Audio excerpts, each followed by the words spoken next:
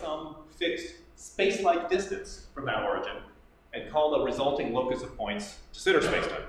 And use the metric that you get by calculating lengths in de Sitter spacetime by just uh, finding a curve you're interested in and then looking at the length of that curve in the ambient Minkowski space. So the topology of this thing is going to be, there'll be a picture on the next slide, but the topology is going to be the real numbers product with a sphere of, so in the case we're interested in, a three sphere crossed with the real numbers.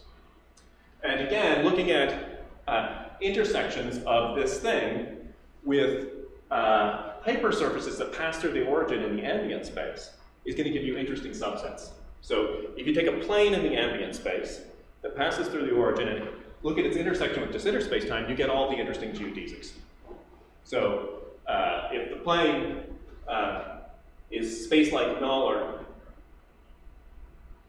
let's just don't worry about that. I'm going to try to rush a little bit, so uh, try to be a little disciplined about skipping things. Okay, and the Cauchy, how, how you get the, there's special Cauchy surfaces in de Sitter spacetime. These are three spheres of minimal volume, so it's the opposite of what you have in the uh, case. And the way you get them is by looking at those three-dimensional three-dimensional hyperplanes, sorry, four-dimensional hyperplanes in the ambient five-dimensional Minkowski spacetime that pass through the origin. Intersect those with de Sitter spacetime, you get these special Cauchy surfaces. So here's the picture. Uh, so the diagrams are all from uh, Schrodinger's book, Expanding Universes. They're very, very beautiful diagrams. Uh, so here we are, we're imagining uh, the ambient Minkowski spacetime. This is what the locus points is going to look like. It's misleading. Like all diagrams in Minkowski spacetime are always misleading because uh, it looks like this net here, right, is really, really special, but it's not. Okay? But that, that's an artifact of the way the diagram is. So we'll talk in a little bit about just how wrong that is. But otherwise, this is the right shape. Okay, so this is this is the right thing to think about, but then you'll see that when you act on it by symmetries, it sort of preserves that shape and different parts of it end up playing what looks like the special role, so the role isn't so special. You said it's the time-like direction? Yeah, so Z is the time-like direction, here's the origin, and this is like one unit of space-like separation. Uh, all the points on this surface are one unit of space-like separation from the origin. Okay, so what, how does de Sitter's space-time come with general relativity? Well, it's a vacuum solution for positive lambda where the size of lambda is just given by the size of the de Sitter spacetime. Each de Sitter spacetime has a radius, right? You have to pick a size there. From now on, we'll just say it's one, so we don't have to worry. And there's a sense in which we sort of think, okay, this is the ground state of the gravitational field for positive lambda, in the sense that it's the solution of maximum symmetry. In the four-dimensional case, the symmetry group is 10-dimensional, just like the operator. Uh, and it's conformally flat, no surprise, so we're sort of thinking everything that's going on here that's different from Minkowski space is all due to lambda. There's no other funny business. Okay. So, on to some weirdnesses of de Sitter spacetime. So hopefully, uh, we'll talk about de Sitter spacetime and how weird it is, and then we'll talk about asymptotically de Sitter spacetimes, which is like things that aren't de Sitter spacetime, uh, but become like it in the future, which is basically everything when you're talking about positive lambda general. Okay, so first thing, it's homogeneous but not static. Okay, so I think this is uh, the huge difference from Minkowski spacetime, that time is is harder to think about in the de Sitter case. So it's homogeneous. Um, so just like when you're working with the sphere, the isometry group of the sphere is all the rotations and reflections of the ambient Euclidean space that leave the origin invariant. And analogously, when you're talking about de Sitter spacetime, the symmetries are all the Lorentz symmetries of the ambient Minkowski spacetime that leave the origin invariant. Just like on the sphere, you can map if, you, if I give you two points, you can map one to the other by doing a rotation. Similarly here, any two points on de Sitter spacetime are equivalent geometrically. There's an isometry that maps one to the other. Okay, so that looks weird. We'll go back to this picture, but like say I give you this point and this point. Okay, so first thing you do is you rotate, right? That's easy, that's obviously symmetry. And then you do a Lorentz boost in the ambient space to get up here. And that's Those are basically all the moves you have, and they're always enough. Oh, sorry. So uh, it's homogeneous. Ev- the geometry looks exactly the same at each point. So now you're thinking like, okay, yeah, so nothing ever happens there, right? So like, it should be static, right? Is your first idea. Like time evolution should just like map one given spatial geometry to another, and it should always be the same one, because after all, everything looks the same. But no, it's not static. Right? So static in general has a precise meaning that there should be a time-like killing field. Right? So a vector field on the whole space-time whose integral curves uh, are time-like, and so that the geometry looks the same point at the same each point on each integral curve. And there is no such killing field in the space-time. Okay, so um, there, the problem is, if we go back to the thing, if you imagine I want to map this point to this point, I do a Lorentz boost. Well, what goes on over here is you map from here to here. What goes on in between is you do something space-like. Every isometry of this thing sometimes relates space-like related points. So there's no time-like isometry. One parameter group of time-like isometries, there's no killing field, it's not static. You're always talking about global. Yes, for now.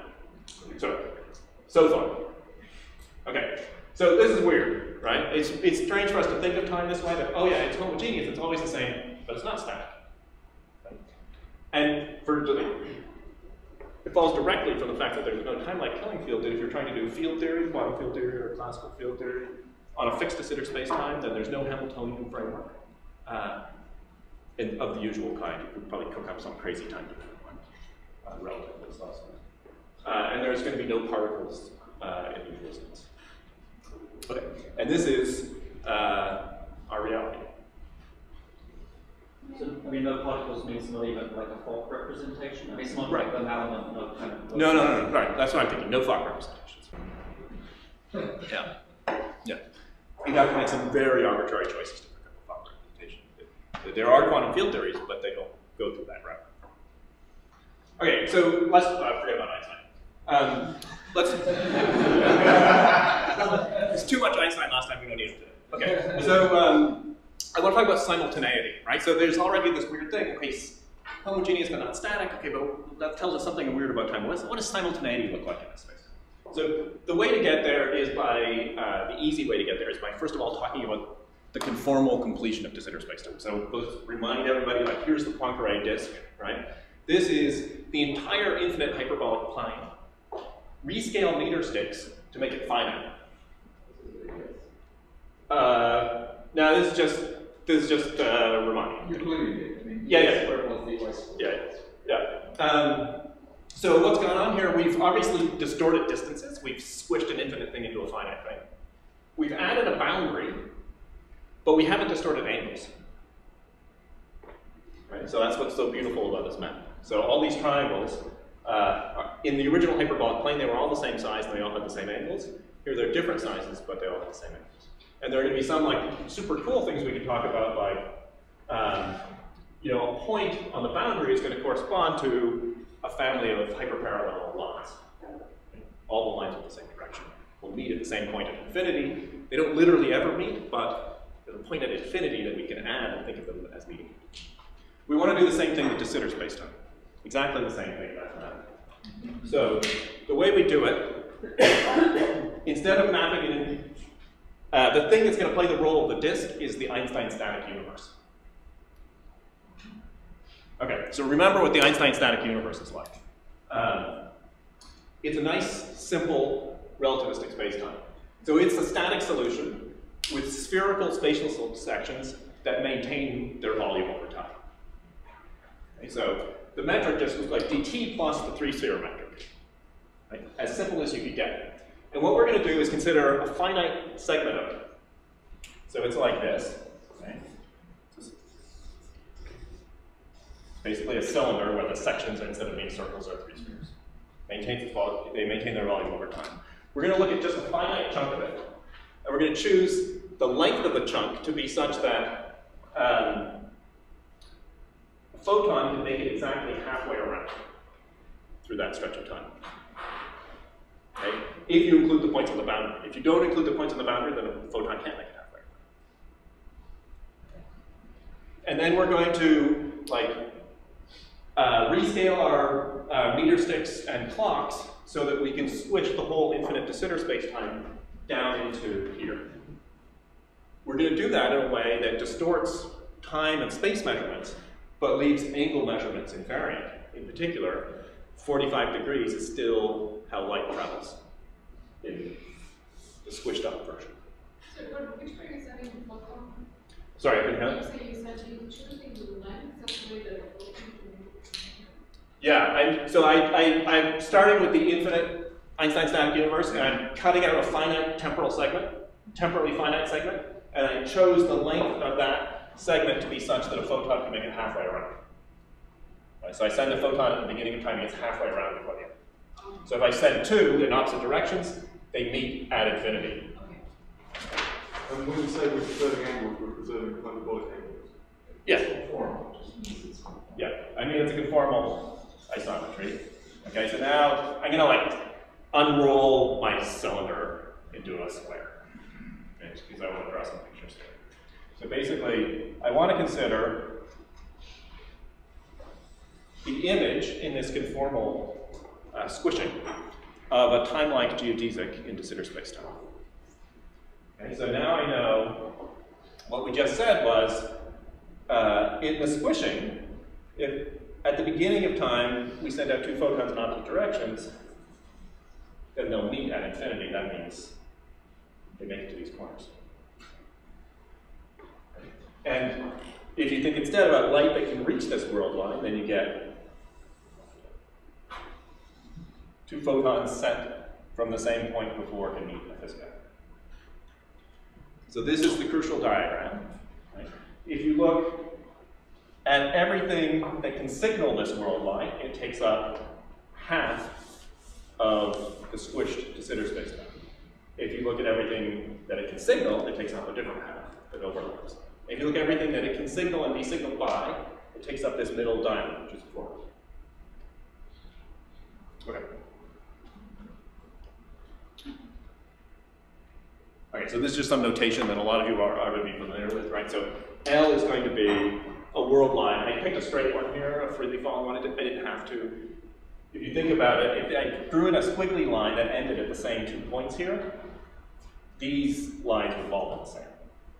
All that matters for any world line is which points at plus and minus infinity you start and end at. It doesn't matter what you do in between as far as the structure of this other line. So pick any line. J plus is the set of points that you can signal from points on that line. J minus is the set of points that can send signals to it. Uh, each of those takes up one half, like we said, and their intersection takes up a quarter. So this is the one, this is the portion you can signal and be signaled by. Okay, so now we're ready to talk about simultaneity. So first of all, cast your mind back to Minkowski spacetime. You've already forgotten how nice it was. Right? Uh, it's easy. If I give you an inertial world line in Minkowski spacetime, it's easy to define simultaneity. So easy that you could do it lots of different ways that are equivalent. So here's the operational one. Right? You've got this observer, and she wants to assign times on her world line to distant points. So she's constantly sending out signals, which are constantly being bounced back, and somehow she keeps track of things very well. So if if she sends out a signal and she gets it back, she's like, ah, the reflection event occurred halfway between, is simultaneous with an event on my world line that occurred halfway between those two. The simultaneity surfaces you get doing that are exactly the same ones you get if you're just like, I take the world line and I look for all the flat hypersurfaces that are orthogonal to it. A nice geometric world. Those two coincide here. Or another thing you might do is find a bunch of, given your world line, find a whole family of world lines uh, that are parallel to it, and then look at the hypersurfaces orthogonal to all of them. Those three procedures are equivalent in Minkowski spacetime. So let's think about the first one uh, in de Sitter spacetime. So in the first one, uh, you just got your one world line, and that world line sends out signals and gets them back. Right? So that's telling you already that our surfaces of simultaneity are going to be restricted to this diamond here, because that represents the set of points to which we can send signals and expect to get them back. Right? point out here, um, right, I can signal it, but I can't, I can't get the signal back before the end of time. Okay, so we know that our simultaneity surfaces, if we use the Einstein simultaneity procedure, aren't going to cover the whole spacetime. Okay, but interestingly, they will cover this patch.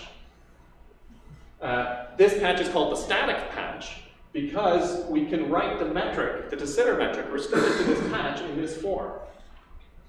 Okay, so this is in, worth pausing over, right? So here we have, here we just have three sphere metric boring. Uh, sorry, two sphere metric boring, scaled by r squared. But, okay. um, these two, uh, so if you dropped this factor out front, that would just look like Minkowski. Right? But with those factors there, that's telling you, as you go out to the boundaries of the static patch, um, uh, you know, this is going to minus infinity, and this is becoming undefined. Right? So something weird is going on with rods and meter sticks, or clocks or something, if you're thinking about this in the classic way.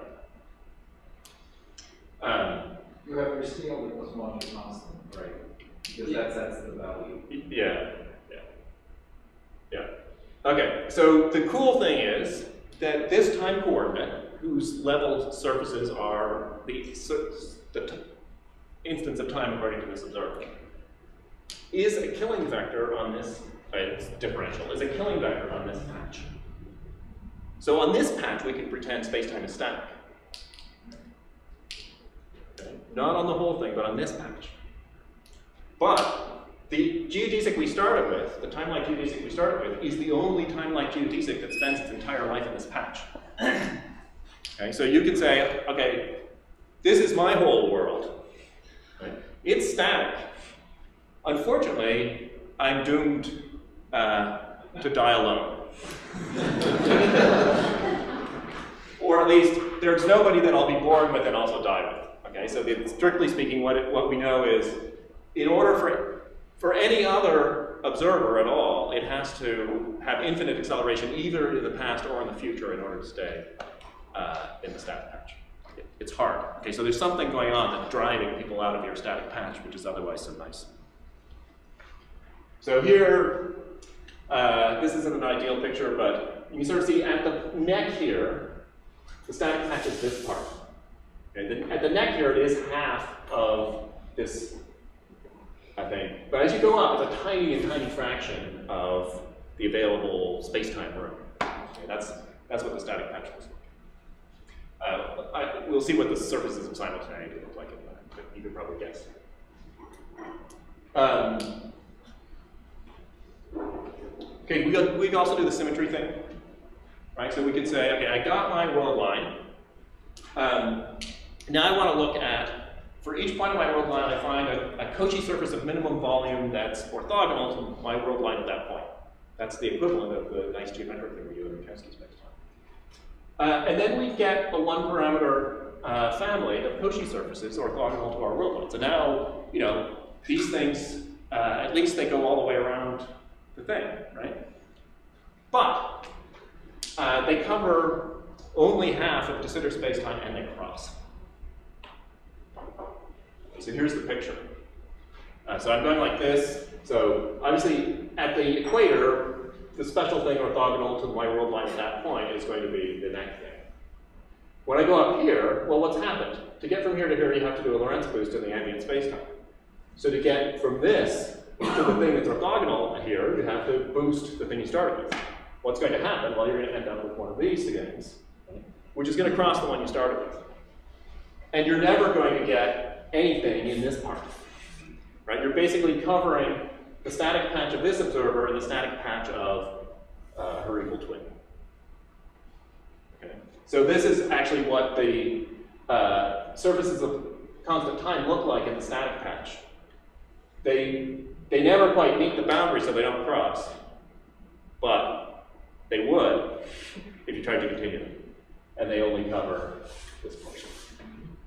Okay, so they're not, they're weird. They're weirder than you would have expected maybe when it's, it seemed like they were so great that they were uh, the level surfaces of, uh, you know, a time parameter that had this nice behavior. But, um, Why do you find it weirder than, let's say, just being outside, let's say you're in the Kruskal coordinates and you're describing the black hole horizon? I mean, this is the horizon, right? Yeah, yeah, that's right, that's right. I mean, I think that's, I mean, that, that, Or good. regular spaces in Gaussian. Good. That, that, that's exactly. I mean, I, Okay. It, it took people a long time to realize what was going on here.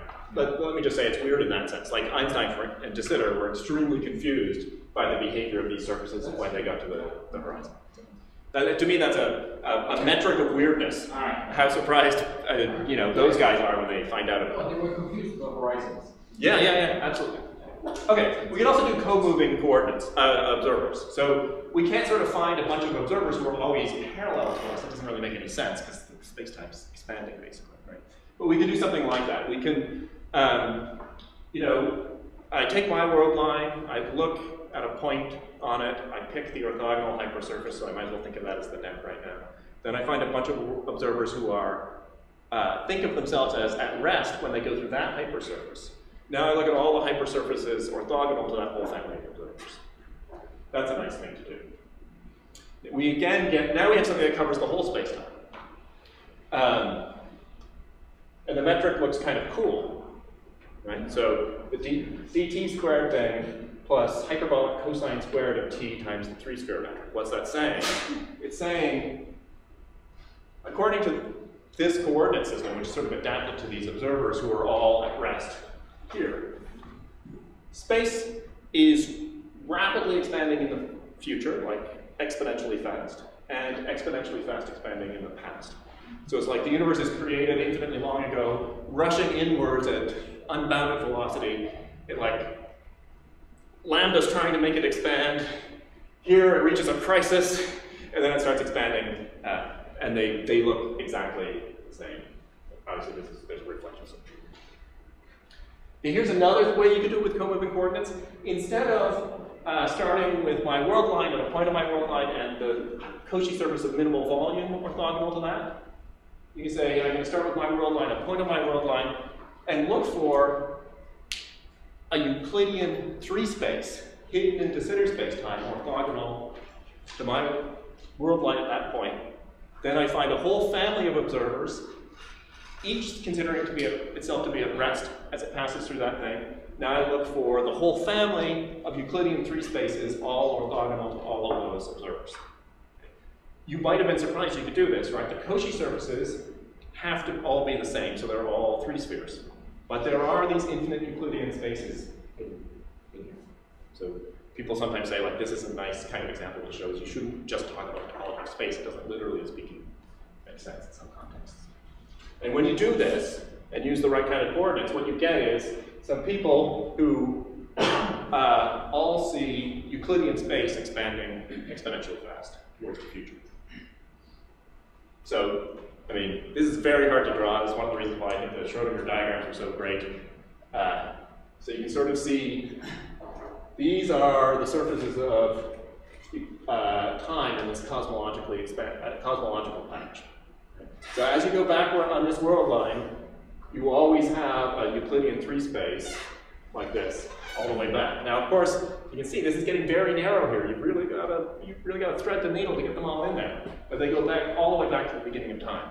And what this is covering here is the whole causal future of the world line you're talking about. Okay, so the static patch is just this, the points that it can signal and be signaled by, but this covers everything it can signal. Okay, And so as you go out towards infinity in the plus direction, you start to cover the whole surface. Okay, so those are two, that's one way of driving home with these two patches, the cosmological patch and the static patch. In addition to being interestingly different geometrically, they also cover very different parts. Is your guy at rest in that, that space? Does that question make sense? Well, yeah, so think of it as uh, an expanding FRW metric, which is basically what it is. So each guy thinks of himself as at rest relative to each of the surfaces of time. All the observers think that, and the observers are rushing away from each other exponentially fast. So This is it's- also great for inflation, right? Yes. You're running local, just different one. Yeah. Okay, so good. We got somewhere, right? We got to the end of the de strictly de Sitter part, and my conclusion is time is strange in de Sitter. Uh, so, like one thing that's strange is the metaphors we usually use, flowing and so on, really depend on thinking about time-like killing vectors as telling us about temporal symmetry. There's nothing like that here. Uh, you know, rolling is, seems like the closest metaphor because these Lorentz transformations really are more like rotations than time translations. So there, except in the static patch, there is no such thing as time translation in de Sitter space. Okay, weird. Oh, I didn't get to the end. No, I forgot. Um, okay, let's talk about this quickly. So, take this three, take, take an ordinary two sphere, right, just the surface of the ball. Cut it in half, and identify opposite points on the boundary. Okay, that gives you a, a surface which you can't picture because it's not orientable. Locally, it has the geometry of the sphere. It also has the rotation group as a group of symmetry, but you can't picture it because, uh, you know, uh, you can change an L into a capital gamma by just going around. Okay. Another way you could picture this is instead of cutting the sphere in half, you could start with a sphere and go to a new surface whose points are the lines uh, in three space that pass through the origin of the sphere. That's the same operation. Well, so those are, that's the, that's elliptic, if, if it has the metric, it's elliptic geometry. If it doesn't have the metric, it's projective geometry. There are, spe- there are non-orientable spaces that I can picture. Like a bubble or something. Yeah. Nick can picture them. if you want a picture, ask I have a crochet one. Yeah, I've seen those. I'm very surprised. Okay, so we can do that with De Sitter, right? It's, it's the sphere, right? So, um, you know, you've got the huge hyperboloid, right? And you're like, what, what corresponds to going, identifying opposite points? It's like just reflect your thing through the origin, right? So put a minus, pick your favorite point, uh, put minus signs in front of all its coordinate values that will reflect you through the origin and give you the antipodal point. And you can, if you like, make a new spacetime that locally looks just like de Sitter spacetime and has the same symmetry group, but which is non-time orientable uh, by doing this identification.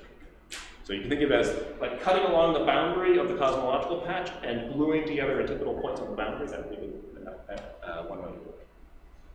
Okay, so Maudlin's been like hovering over the room as uh, people's villain with choice this week, so uh, I'll put him in here. No physicist or philosopher has ever suggested the physical possibility of a temporally non-orientable spacetime.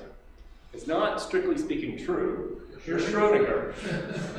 he talks about this thing. He first of all says, "Oh, you may be worried because there's going to be closed time-like curves." Then he argues that there are, and he's like, "Well, that removes the objection uh, to the intended identification of the activities." This move. Uh, but there's a circumstance which, to my view, positively su- suggests it. It's this.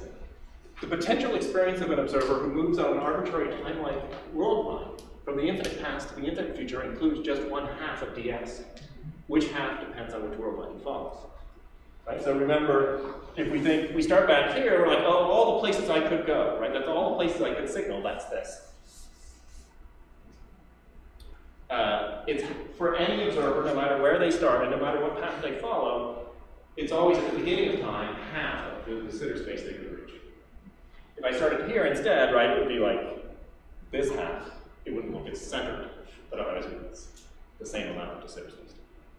Schrodinger thinks that's weird. Right? He thinks it would be way cooler if uh, everybody uh, had as their potential object of future experience is the whole space-time. So here is, I, I expect you to think that's weird. I, I think it's weird. Yeah, that. Here is a sort of his like Hegelian uh, explanation of this. Still, we, or at least at any rate some of us, are used to regard the real world around us as a mental construct based on the community experience of all normal, sane persons. From this point of view, one may find it distasteful to accept a world model according to which two observers who separate are likely to have possible sharing of their experience stopped with regard to some parts of it. Uh, that are interesting and relevant to them respectively. Indeed, this will happen sooner or later, unless they reach the distant future at precisely the same as when walking. One way of avoiding this is to accept the elliptic interpretation. Okay, so there's some idea about the functional role of spacetime here, that he thinks is better fulfilled by elliptic de Sitter spacetime than by de Sitter spacetime. Okay, now you may say that was the old days. Okay, but here's somewhat newer days. This is a paper of well, around 2000. I, I, would, I would say it was around when we were working with the CFT, I would say 2003, 2004. Right. Yeah. Yeah, so this is a paper that came out. These guys were advocating uh, return to elliptic de Sitter spacetime, and there were a bunch of papers uh, around the same time, right? You were on one of them. Um, so these guys, in this paper, we consider the consequences of the elliptic interpretation. We find that elliptic de Sitter space has some remarkable properties.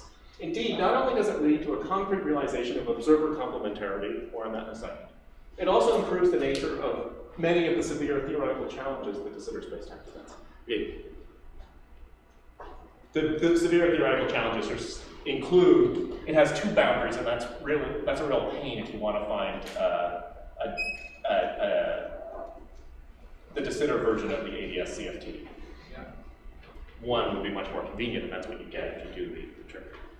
Okay, what is this observer complementarity thing? Okay, this is from the same paper.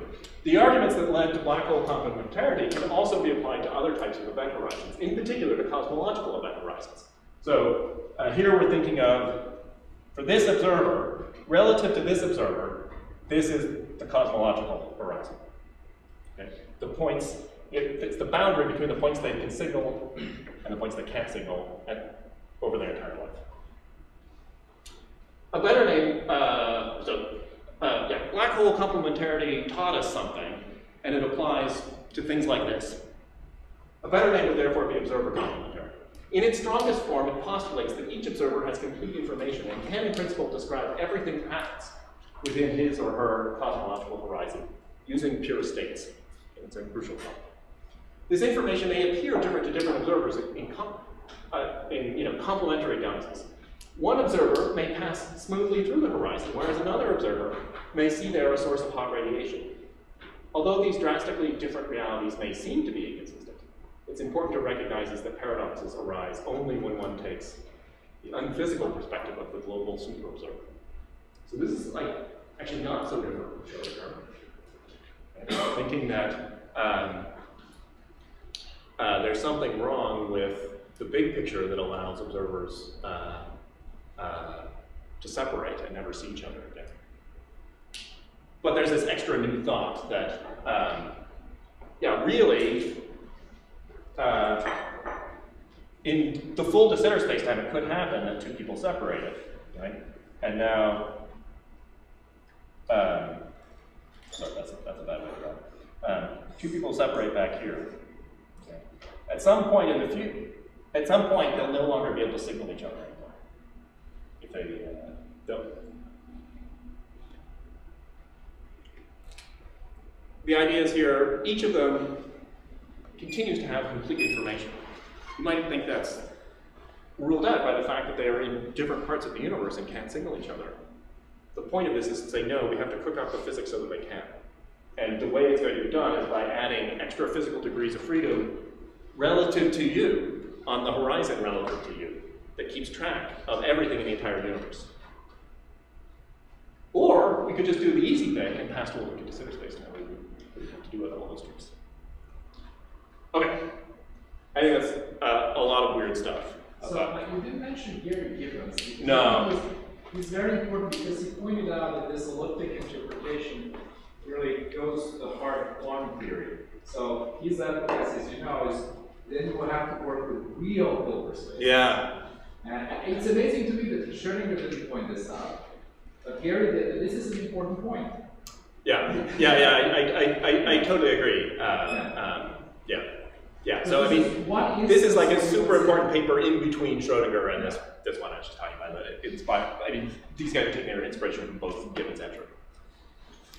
Okay, so let's now talk about asymptotically de Sitter spacetimes. Okay, so what's going on here? We don't think we live in Minkowski spacetime. when we thought that lambda was zero, we didn't think we lived in Minkowski spacetime. We could see there was matter all over the place. Right? So there couldn't be zero curvature. The same, for the same reason, we now don't think we live in de Sitter spacetime. If we think lambda is positive, de Sitter spacetime might be an interesting model being the simplest positive lambda spacetime, but it's not ours. Okay, but we'll see there are several interesting senses in which when you have positive lambda, uh, it becomes nigh inevitable that your future will be de Sitter-like. Okay, so we want to talk about spacetimes that maybe start with uh, a Big Bang, but have positive lambda. What happens as t goes to plus infinity in spacetimes like that? So those are the um, those are the we want to study the asymptotics of those spacetimes with in the positive lambda setting, and you know I've sort of given away that the asymptotics are going to be de Sitter-like, so we call them asymptotically de Sitter. So here spherical representation of this equation. Say it again. So here we have the same like, spherical representation of this equation. Yeah, let's let's let's forget about the other. I don't want to that. Okay. you don't have to. Um, uh, but because we want there to be a big bang, we, we, we want there, and, and then there to be stuff spread out, we, we want there to be temporal orientation again, just, just for present purposes. Right, but this would be very fun. Yeah, yeah, yeah, I, yeah, I, I, I, I agree. Okay, so just, this is three slides, this is a slide with three topics that I was tempted to spend like an hour and uh, a half on each in making this talk, and then I decided to spend less than an hour and a half on each of them. Okay, so partly because they're picky technical things to talk about, but I think they're like super interesting and provide like, uh, if you get fired up about this, I think these would be like really interesting uh, uh, things to read about and try to get involved. Okay, so one problem is there's just like an enormous variety of way of different uh, inequivalent definitions of asymptotically Sitter. Um, and you know, some of them differ in sort of like it's like like small ways, but uh, some of them differ in quite dramatic ways. Like for instance, what kind of asymptotic symmetries you get, um, and how useful they are for like say measuring gravitational radiation, uh, for treating modeling gravitational radiation in a de Sitter setting. And there's a tremendous uh, amount of disagreement about how to work all this out. Okay, so that's one thing. Second thing, okay, remember I said before, just in the de Sitter case, we don't get a Hamiltonian if we try to do field theory on a fixed de Sitter background. Related problem. So in the lambda equals zero setting, we can define mass and charge and angular momentum for isolated systems. It's like tremendous triumph of general relativity that took decades and decades to work out. For instance, it was an extremely important mathematical result to prove that the mass is always non-negative. Okay? It's like really, really big deal. Um, really hard, but the basic idea is really simple. You can just sort of like um, do what you want to do in Maxwell's space, uh, in Maxwell's theory of Minkowski spacetime. You could just define the charge of an isolated body by looking at what, like the flux or something over larger and larger three spheres, and you capture all the information. There's a general relativistic version of that that allows you to look at the mass of an isolated system by looking at the way the metric components behave on larger and larger three spheres as you go to spatial infinity. And it turns out that things like mass and charge and angular momentum can all be defined this way if you impose the right kinds of boundary conditions at spatial infinity when lambda equals zero. And then you can show that they're conserved quantities and they have amazing features and it's all awesome. Super awesome. We don't expect there to be conserved quantities in that sense in the positive lambda sector of general relativity because there's not going to be an asymptotic symmetry of time translation, which is what you need to make sense of these things in conserved quantities. So there's no known way to give a general definition of mass or charge or angular momentum for an isolated system in the positive lambda sector of general relativity. Uh, so what does that mean? We need to be more clever. Do we need to give up on the idea that we have definitions like that? Uh, this isn't exactly like probably a good research project for philosophers uh, to try to solve this problem, but I think like just getting clear on what the options are and the dialectic state of plane would be really. Okay, and then another, this is a sort of, you can read some recent papers by Ashtekar and collaborators if you want to think about this, like what, um, let me put this a little more technically then to get it over. Um, in the positive lambda setting, it's not just an it's not just in de Sitter spacetime that conformal infinity is space-like like this. It's through the whole sector.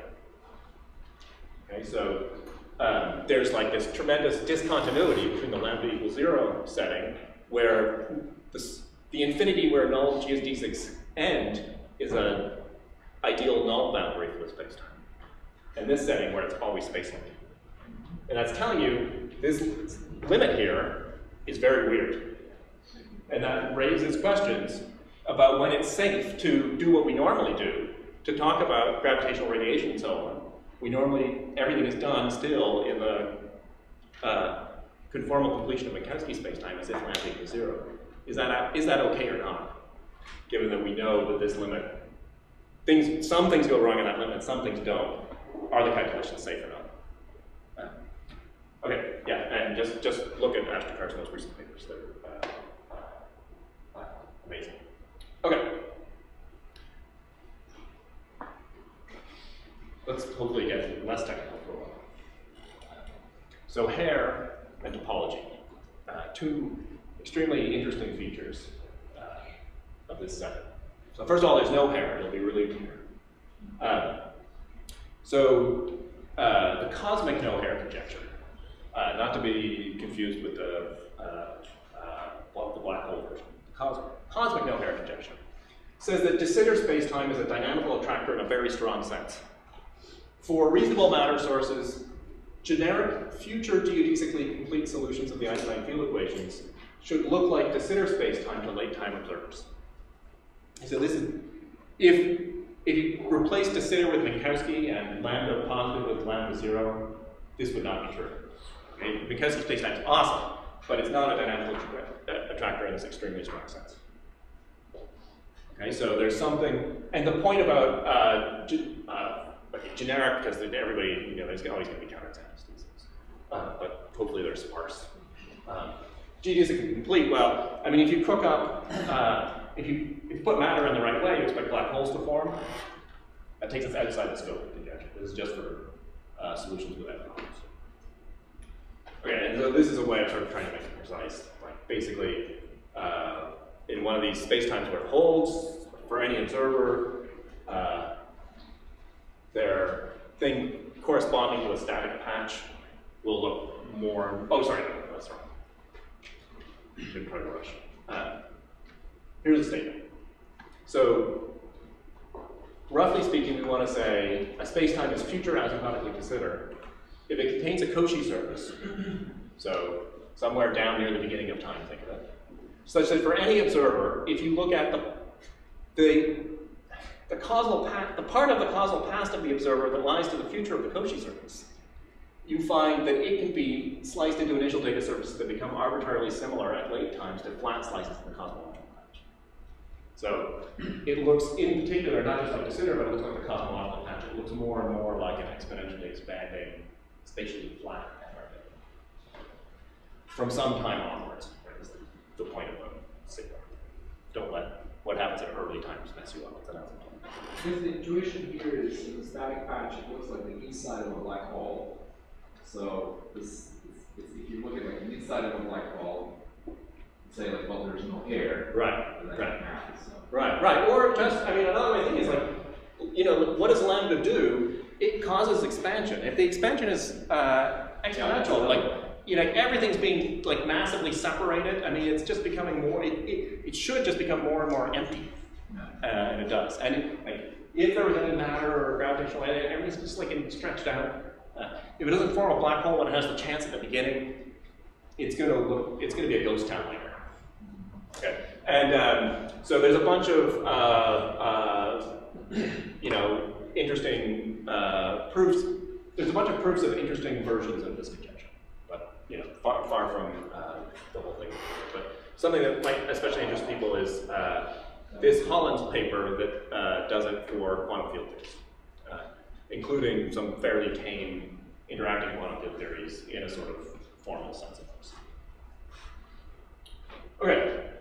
Another uh, thing that I think, I mean, this is actually one of the things I think philosophers should uh, be gripped by in the de Sitter uh, setting. So, you know, um, there's this literature going back to the 70s um, about whether or not we can detect cosmic top- topology in general relativity. Um, uh, but it's a sort of uh, well, it uses a, a, sense of cosmic topology that's quite different from the one I'm about to talk to talking about. This one is more physicsy. You don't have to rely on weirdo uh, uh, bespoke uh, uh, space-times to get your examples and counterexamples. The dynamics does it for you. Okay, so let's say a standard cosmological model is a spatially flat solution of the Einstein-Vlasov equations with positive lambda with spatial slices R3 or a quotient of R3. Okay, why Einstein-Vlasov that maybe a lot of people here have never encountered before? It's like, it's mathematically convenient for the guy proving the theorem. It uh, simulates radiation at early phases and dust at late phases, so it's actually pretty good as an approximation. And all this can also be done with uh, a nonlinear scalar field. Uh, so it's not as special as it sounds like at first. Okay, so what's the picture here? Well, you know, like if you read a, uh, well, cosmologists will say, like, yeah, we now we know lambda uh, is non-zero, and we also have excellent evidence that we're in a spatially flat uh, universe that's exponentially expanding. Will be exponentially expanding as lambda really gets bigger. Okay, so this is like, from the point of view uh, that we're taking right now, this is like the kind of cosmological model that we think provides an excellent approximation when we're talking about the universe as if it was homogeneous and isotropic. Okay, so like all of the evidence that uh, you would use to get people started doing cosmology, right, it before you start to mention the sophisticated stuff, uh, can be captured using one of these things. Okay, so in particular, these things are homogeneous and uh, isotropic, right, because they're spatially flat. Now, so long as we stick with exact spatial flatness, exact homogeneity and isotropic, that means there's very few topologies consistent with our observations. The observations say, if, if, you know, if you have to pick a homogeneous isotropic one, it's going to be flat. The only manifolds you can put a flat metric on are like R3 and quotients of R3. But in the three, world of three manifolds, that's highly, highly restrictive. There's an awful lot of manifolds you can't put a flat metric on. So, but obvious question, like, of course, the observations only suggest that our universe is approximately described by one of these guys, because it's obvious if you look outside that the universe is not exactly homogeneous and isotropic. So the obvious question is, what sort of spatial topologies are possible if we require only that each observer think of our universe as looking approximately like a standard cosmology at late times, or after a certain time, or something like that. And the answer, due to this guy uh, Ringstrom, is now any topology is consistent with observations. Observ current observations place no constraint on spatial topology whatsoever. Okay, so there's a sense in which uh, spatial topology is not going to be uh, detectable using the kinds of observations we can get so far. Because lambda is positive, this thing doesn't happen when lambda is zero. Okay, so what, you know, why? Well, in a universe like us, there's an early Cauchy surface past which we can't see, corresponding to like decoupling or something like that. We can't see with the kind of probes we have. And if you look at, go back to that early hypersurface, and now look at um, the future of any observer. All the data you need to predict everything that happens in that the, in the whole J minus of that observer's world line, right? Not, like not just in, in the whole, like you take their whole infinite future world line, you take the, everything that's in the past light cone of any point of that, all the data you need to need to determine what's going to happen in that whole region is encoded in a finite ball on this early hypersurface. So we're not going to be able to detect topology because all the data we're ever going to get is only telling us about what's happening in a finite ball on an early uh, hypersurface. Uh, So there are these people writing the claim, um, probably know their names, remember their names. The claim that you can actually detect, uh, right, the effects of topology if you go to the, not the first peak in CMB, but the previous one, right, but basically you always had the largest error bars because of cosmic variance. Right, right, right. Yeah, I should say, okay, so this is a good point. So if the universe were small enough, then we would just see like double images of stars. If, you know, we see the sun looking at straight at the sun. If we looked away, we'd see like a very faint copy of the sun the other direction. If the universe were small enough then the light would go all the way around and reaches again, right? So it's it's actually possible that we could get data um, that would give us strong evidence that space had some particular topology. But this is saying there's no topology it could have that's inconsistent uh,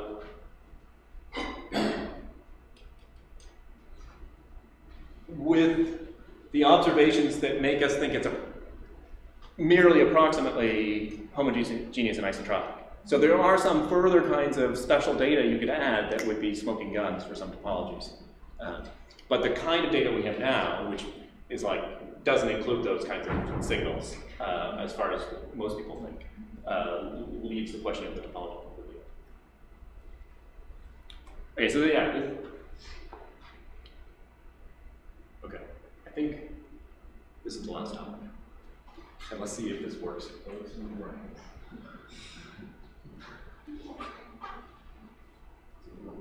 Well, it's hard to tell because it's going to take a second to load because now we're finally at our iMovie. um, and it looks like it needs to be clicked to actually happen. Oh, Nick, I'll never have the coordination to do this. So you've just got to click anywhere on the image.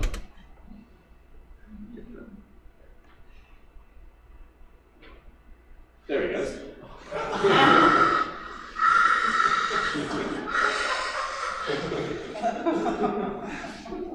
All right. I'm glad we got- You can perhaps imagine how much time I spent working on that one. and obviously, you should read the title as like Boltzmann brains. I really wanted him to say brains, but I couldn't figure out how to do this. okay. Um, I wrecked this again, Chris. No, Oh, it's just- Oh, oh, there we go.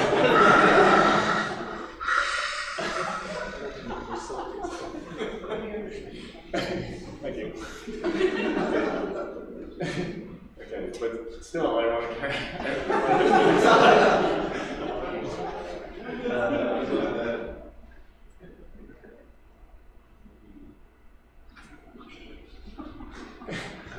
all right, I can just start talking. So, quick review for people, right? Probably everybody knows more about what Boltzmann brains are than I do, but here's the basic idea, right? So, say uh, you, li- you lived in a spatially finite universe whose volume was constant, and it, it's e- eternal towards the future. Right? So, what should you expect? Say, say it had a beginning that was very low entropy. What do you expect is, um, well, you know, the entropy's going to keep going up. So maybe you'll get a phase that looks a little bit like this with the organization and so on, but then it's going to keep going up and things are getting a little boring, right? It's going to reach equilibrium. And then, you know, it's an equilibrium thing in a finite box. So uh, Poincare recurrence tells us, like, every once in a while, we'll go arbitrarily close to any state you like. So in the future, there'll be fluctuations back down to low entropy. But by far the most common ones won't be all the way back to like Big Bang entropy, but to intermediate levels. Now, in some of those intermediate levels, there will be like records and living things and so on. Right? Incredibly similar to what we see around us. Um, but those things won't have like been preceded by super low entropy past. They will just like fluctuate out of chaos. And non the non-chaotic part of the universe will be relatively small, so the chaos will like come zooming in and destroy them. They won't get to look at the whole lives of now, the Boltzmann brains problem, but due to Boltzmann basically, but with better name, a better name now, um, is we think, you know, we have all this evidence, we look around us like, we think it's evidence for a low entropy Big Bang past. But if the universe is infinite towards the future, no matter how small the probability is of something like this room coming into being exactly like this, it will happen infinitely often. And so in the whole universe, there are like there, there's like maybe one copy of you that lives in a room like this that was preceded by Big Bang low entropy immediately, and then there's infinitely many copies of you that uh, just fluctuated out of chaos and are about to get eaten up by chaos. So why should you be so sure you're the one uh, with the one? Okay, so this is like uh, one of those excellent kind of science fiction problems that uh, physicists like, uh, that we also like. So uh, it's it's great. Okay. So lambda and Boltzmann brains, right? So that, that was that was for a spatially finite universe of constant volume. It was important that it didn't grow in volume because we wanted to appeal to Poincare recurrence, which requires that the energy, energy surface of the phase space be.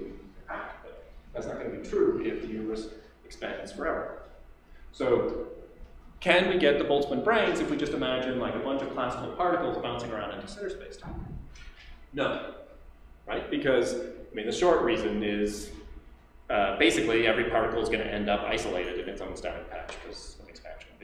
I gave a sort of longer, more boring argument, but it amounts to that. And it was quite similar to some of the things you were saying. Okay. Just, just get rid of that thing. Is uh, my usual attitude towards it. Um, okay, but what about that's if it's cla- that's if it's de Sitter plus classical. What if it's de Sitter plus quantum? So the dominant view among contemporary cosmologists is that you should expect infinitely many Boltzmann brains in our de Sitter-like future. So we, we basically think, because of the no-hair theorems, that we will have a de Sitter-like future. I mean, outside of the, unless we're in a black hole. So we're expecting a de Sitter-like future. The, the quick argument about classical systems suggests few, if any, Boltzmann brains. But cosmologists expect there to be infinitely many Boltzmann brains in our de Sitter-like future. A kind of reliable sociological um, statement? Uh, I would not say they're reliable because they're always semi-classical. No, no, I no, no, no. It's, it's just the claim that it's the dominant view right now true.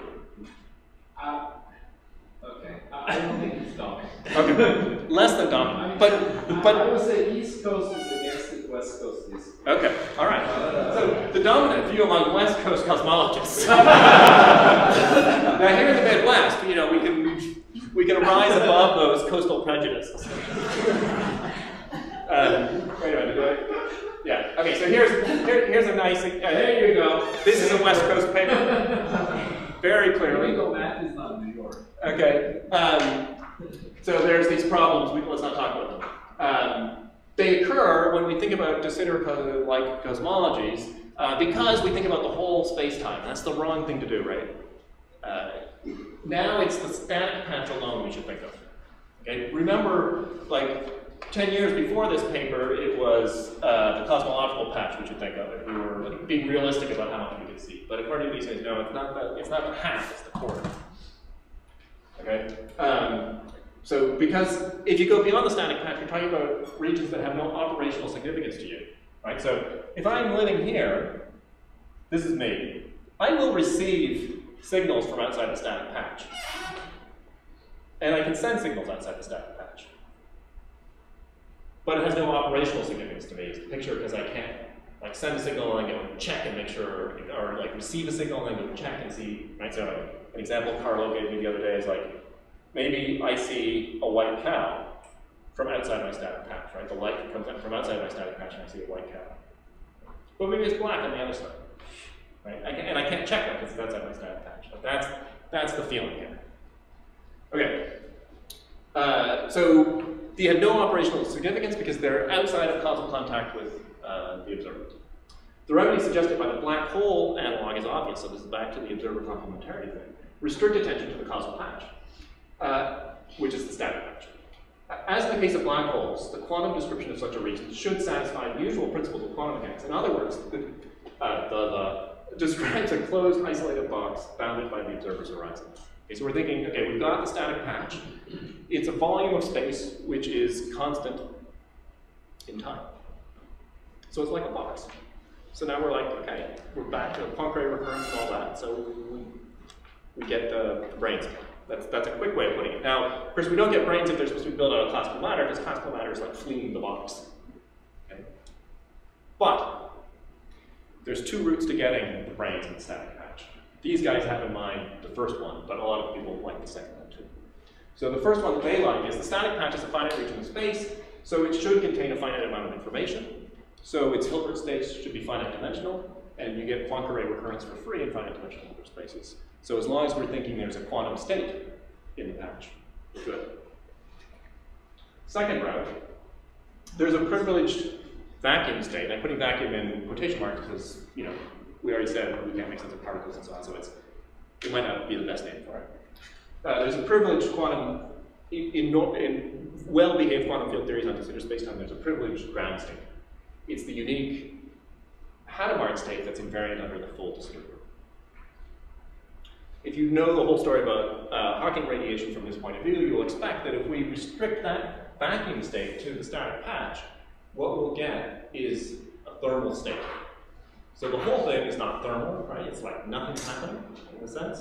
But if you restrict it to, that's hard to make out because you don't have that.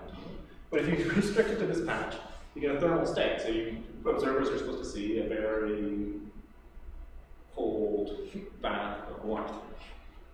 And uh, it's KMS, it's thermal with respect to the time translation isometry of static patch.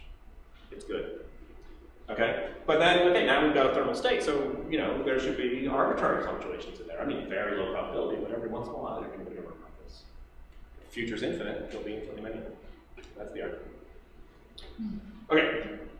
I'm sorry. I, I thought I would get here sooner, but two more slides. Okay. So there's this one. I wanted to make a final point, which is there's started to be, there's starting, there, there are like a few papers out there that are trying to undermine this by uh, appealing to considerations about the interpretation of quantum mechanics. So there's this one by Tumulka, and there's a sort of related paper by uh, Goldstein, Tumulka, and Struglin, uh, where they talk about this stuff from a Bohmian perspective. They don't buy into the whole let's just work on the stack patch picture. They work on the cosmological patch, which is the half thing. And you know, basically because of the cosmic no hair thing, if you put a Bohmian quantum field on this thing, and you work with a field ontology as your beable, what's going to happen to the beable field as t goes to infinity up here is each of its modes is just going to settle down into an equilibrium. So from a certain point onwards, you're not going to get any interesting fluctuations. So the dynamics of the beable field basically freezes. So you wouldn't expect there to be many Boltzmann brains, certainly not infinitely many. You would expect, in fact, expect there to be more functioning brains back here near the Big Bang than in the post uh, fluctuations. And then here's another one. This is by uh, Boddy Carroll Pollack. Appealing to many worlds. Right? So just like basic punchline to this paper is, okay, yeah, we buy the whole thing about the static patch and there being a thermal state there. But if we're serious about many worlds, you know, these days, we don't just say, because uh, I can find a basis with respect to which, uh, you know, the wave function is non-zero in this component, that there's some non-zero probability of that happening. There is a kind of like old-fashioned thing you might get from Everett, where you're just allowed to pick any quantum state. You can get a physical quantum state, you're allowed to pick anything and say, relative to this, how do things look? But that's not how we do it anymore. We do this whole decoherence story. So in order to get to nail down this argument and say you should expect to see Boltzmann brains, you have to provide an elaborate story about why the kind of like Boltzmann brain basis is favored by decoherence at late times in the de Sitter universe. And that seems like it would be really hard since basically everything is static there. It's not obvious there's any decoherence going on. Okay, good. So I mean, I think I hope it's obvious from those last two slides that there's uh, a lot of cool things going on right now um, about this de Sitter stuff and quantum stuff, and that uh, philosophers should be thinking about. Thanks a lot.